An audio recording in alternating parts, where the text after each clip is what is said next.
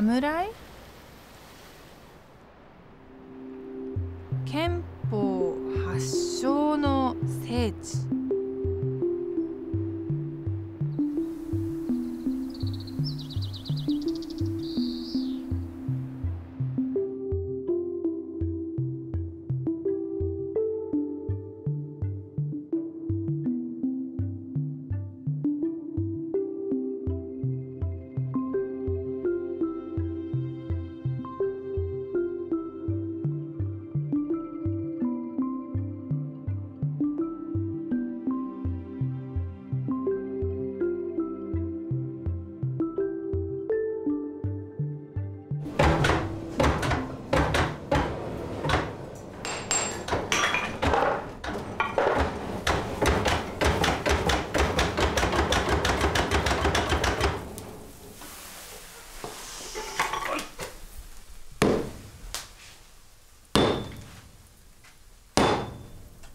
鉄自身がなりたい刃文っていうのがあるからそうすると矢切れた瞬間にこの刀は成立するわけですよ。つまり生まれるわけ、うん、なんかにどっかにつながる感じがするよね。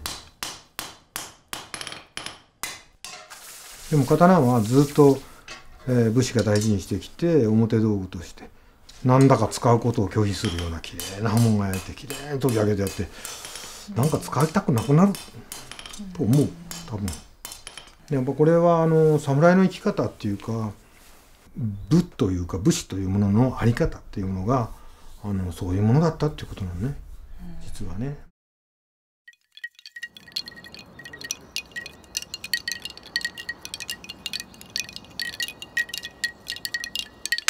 おおきだ素晴らしい。きれいに切れたほら。うん前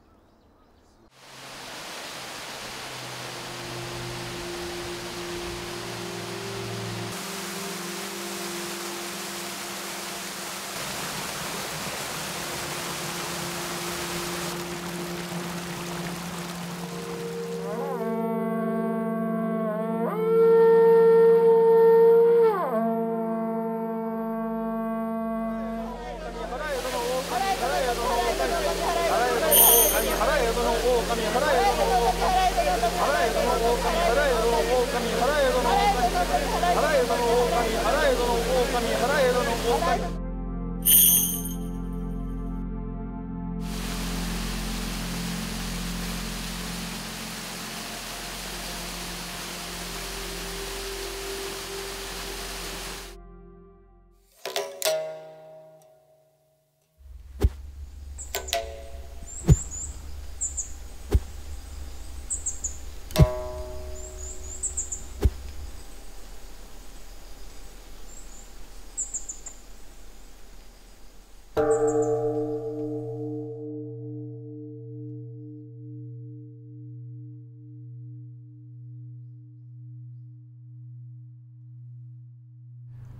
禅宗さんの教えの中で身を整える聴診それからあ息を整える朝息、うん、そして、えー、それが整っていくと心が整っていく聴診心の聴診というふうにつながっていてそれがぐるぐる回っていくんです。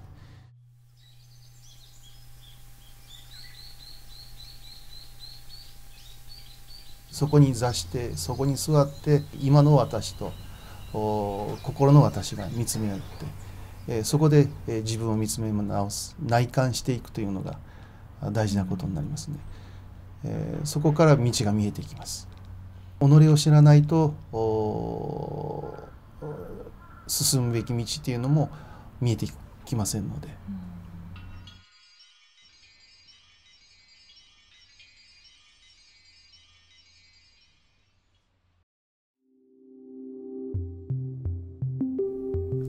中だとどのお着物が人気ですか？そうですね。まあ季節は問わない柄ですのでお好きなのをね選ばれたらいいと思いますね。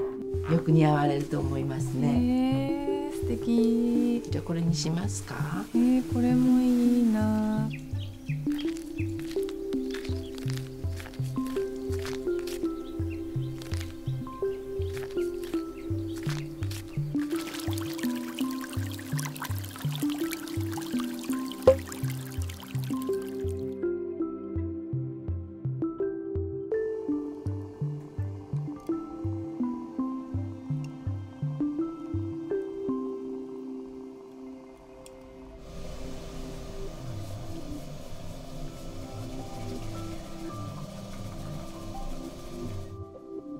先人がね、えー、茶の湯とはただ湯を沸かし飲むばかりと知るべしというね、まあ、道を極めるっていうそこまで行きつけたら幸せだと思いますね。まあ、茶道もその道の一つですね。道はあの限りがないと思います。だからこれで終わりというとこはねないかもしれませんね。